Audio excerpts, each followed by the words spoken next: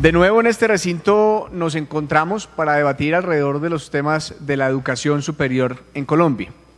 en medio de una coyuntura muy difícil que tiene una gran cantidad de aristas. Expresiones a la violación de la autonomía universitaria como lo que ocurre con el profesor Miguel Ángel Beltrán, el avance de las intenciones de este gobierno y de este sistema y régimen imperante por imponer un modelo de educación y un tipo de educación al servicio de sus intereses por medio del Acuerdo Superior 2034, demanda de todos los estamentos universitarios y de la sociedad en general el mayor de los compromisos. Defender la autonomía universitaria es defender el espíritu mismo de la universidad. La clara muestra de la injerencia de estos actores externos, que ya bien mencionó el profesor Mario Hernández en las primeras ponencias, son, pueden ser reflejo o son efectivamente reflejo de grandes inconvenientes para el desarrollo misional de aquellas instituciones que lograron durante siglos configurarse rompiendo el oscurantismo.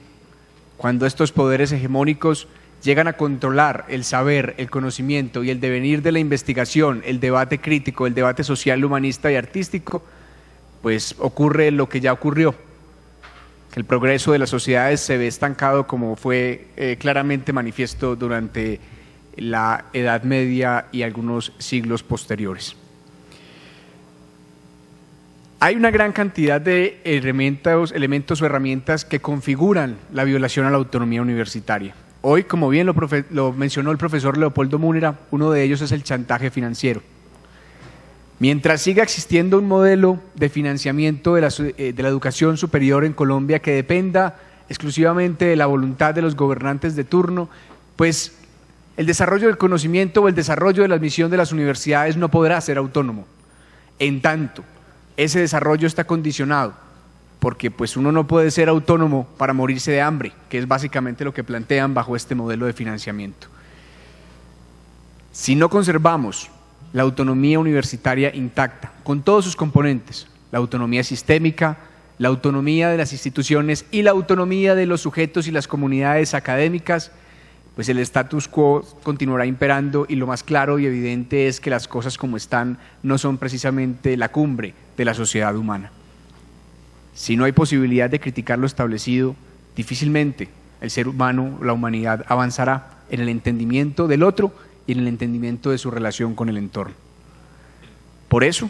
todo este tipo de escenarios tienen que dar cabida a discusiones importantes que permitan configurar la universidad del tamaño de los sueños, de los estamentos universitarios y de las condiciones o una universidad al servicio real de la sociedad. En este panel tocaremos los temas de democracia y participación en el marco de la autonomía universitaria,